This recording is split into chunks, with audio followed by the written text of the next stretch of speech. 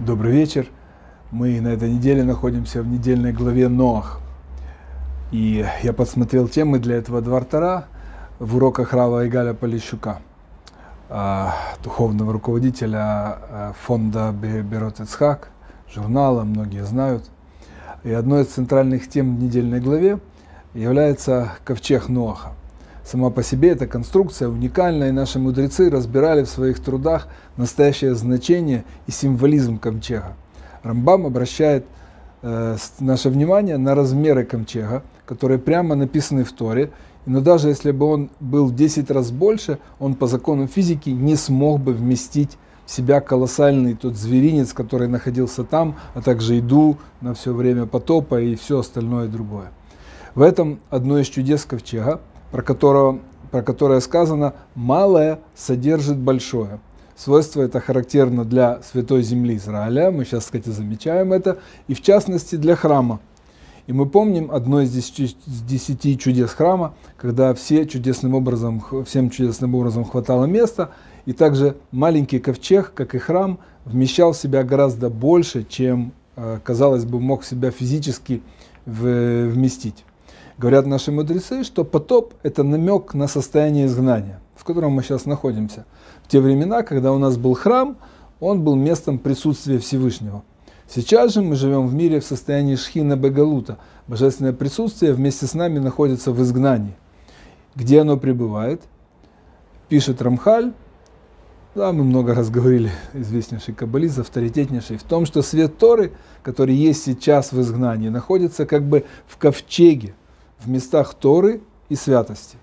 Места Торы нам то есть понятно, места учения, э, ешивы, колели, э, хедеры. Места святости – это, конечно, в первую очередь синагоги, которые считаются малым храмом. Рав Гутнер, Гутнер отмечает, что в Торе есть два места, где заповедано строительство. Первое – это Тайват Ноах, строительство ковчега, и второе – Мешкан, строительство переносного храма. Рав Гутнер умер в 81, 1981 году, выдающийся мыслитель и педагог Равин. Он один из духовных лидеров э, э, движения Мусар. Среди его ближайших последователей были Рав Шлома Вальби и Рав э, Моше, Моше Шапира, ставшие духовными лидерами движения Мусар уже в наших поколениях. Так вот, Батей э, Мидрашот, дома учения, Ешивы, Колели соединили в себя свойства обоих этих строительств. С одной стороны, это как ковчег Ноаха, а с другой стороны, это как мешкан. Они являются пребыванием Бога в Галуте, и они спасают от бурь, бури потоков вокруг. Когда Раша объясняет устройство ковчега, он говорит о том, что его смолили изнутри и снаружи. И для сравнения Раши приводит один ковчег Тейва, в котором положили маленького Маше, чтобы опустить воды Нила. В отличие от э, ковчега Ноя, ковчег Маше был посмотрен только снаружи и не изнутри. И наши мудрецы приводят несколько тому объяснений. Первое это то, что Маше, праведник, не почувствовал, чтобы, Маше, чтобы праведник Маше не почувствовал дурного знака, запаха смолы. Второе, чтобы опасные воды потопа были настолько сильны, что необходимо было двойное смоление. Это выглядит немного непонятным, по мнению Рамбана, весь Камчак был сплошным чудом. А если так, то какая разница, один слой смолы или два? Однако Всевышний не только приказал это Ною сделать. Он записал это еще нам в Торе, и это урок для всех последующих поколений, для нас с вами. И в этом есть что-то, что мы должны выучить когда вокруг нас острая неблагоприятная среда, которая мешает нам быть богобоязненными евреями и сохранять свое еврейство, то уже просто оставаться на своем уровне – большая заслуга. О чем это? Описание ковчега показывает нам путь, как выжить и сохранить себя, когда вокруг нас потоп скверны, тумы, нечистоты. Наш ковчег, наше отделение должно быть настолько прочным и надежным – чтобы выдержать бурю потока, потопа. По сути дела, Тора нам заповедует просмолить себя изнутри и снаружи. И даже если это очень ограничивает и мешает нам нормально жить. Образно, да, смола и запах. В последние десятилетия функция Ишив изменилась. Если раньше это был мешкан, святилище, место святости, то в последних поколениях Ешивы становятся больше спасительным ковчегом. Представьте ситуацию 100-150 лет назад, вряд ли кого-то из нас приняли бы в Ешиву Воложен или Мир. Э, это великие дома святости, дома учения. Это велик... И сегодня Всевышний привел нас в наши несколько поколений в конце 20 и в начале 21 века в Ешивы, в Коле или дальнем дамбо возможность учиться. Ведь не так давно для людей изначально далеких от Торы такой возможности просто не существовало. И это чудо. Много сейчас говорят о Керуве, о том, как надо приближать евреев к Торе, и как только это может, и как, как только это может помочь нам всем, всем, всему, э, как только это может помочь э, нам всем и всему Израилю. Лучшая помощь, которая только может быть, это буквально взять человека за руку и привести его в Ешиву. Тем более, когда мы говорим о наших детях. Начав с внешней среды, чисто физической ограды от тумы и от нечистоты и материальности этого мира, ученики Ишив со временем приобретают внутреннюю ограду, внутренний стержень, свет Торы, который помогает им в любых жизненных ситуациях. В этом есть особая важность и поддерживать существование уже имеющихся и даже открывать больше новых ешив, которые бы были бы ближе к нам, к новым возвращающимся к своему еврейству, евреев и их детям. И это уже большой урок для нас и место для промежуточного лыхаема. Мы все молимся каждый день, чтобы Машех пришел как можно быстрее, был отстроен храм и наступило окончательное избавление. До этого мы должны построить сами себя, наши дома, чтобы они стали местом присутствия шхины.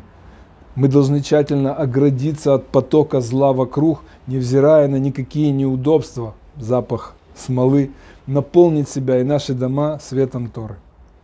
Еще одна тема, еще одна сторона и пример, который дает нам Ноах для нас сегодня. Именно сегодня, сейчас, в непростые для многих евреев времена, когда многие переживают двойное изгнание, не только изгнание из земли Израиля после разрушения второго храма, в котором мы находимся уже больше двух тысяч лет, но и изгнание из своих домов, из страны обитания сейчас, сегодня. Начало главы Ноах звучит известно. Вот порождение Ноаха. Ноах был праведником в своих поколениях.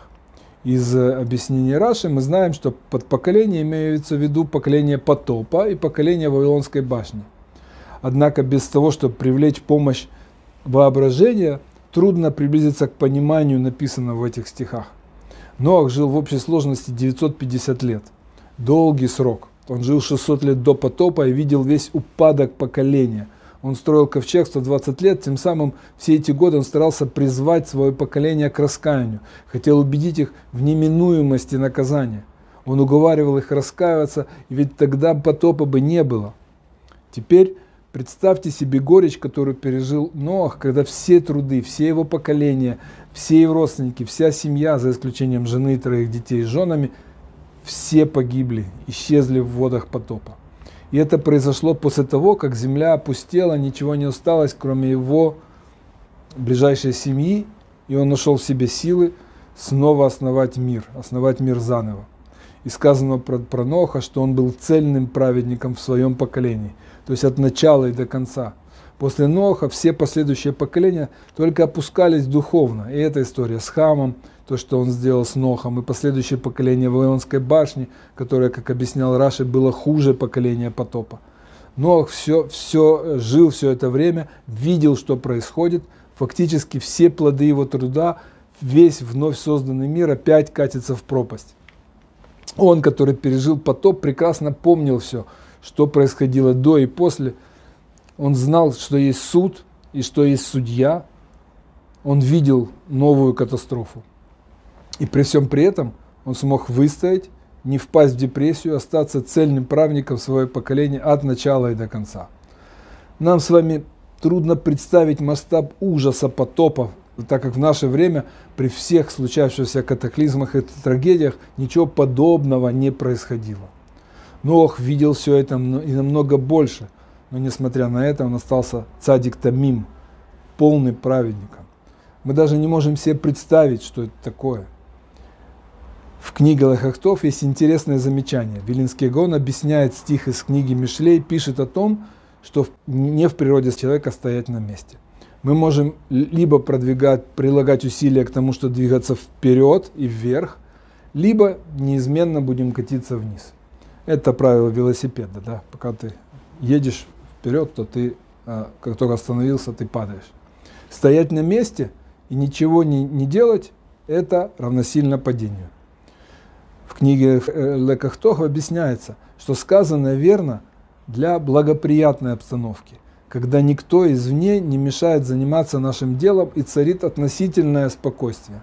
Если же человек помещен в период катастроф, катаклизм, находится во враждебной обстановке, и даже если он борется всеми силами за то, чтобы продвигаться вперед, а сила этой борьбы с трудом хватает ли на то, чтобы оставаться на месте и не скатываться вниз, то уже в этом огромное достоинство и на самом деле истинный подъем.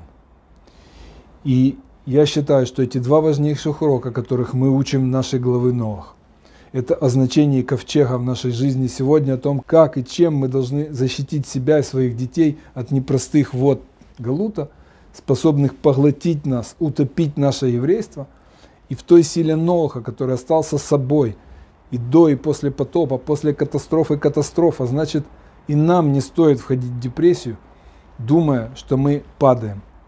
Такие периоды, если мы хотя бы стоим и остаемся собой, то мы поднимаемся.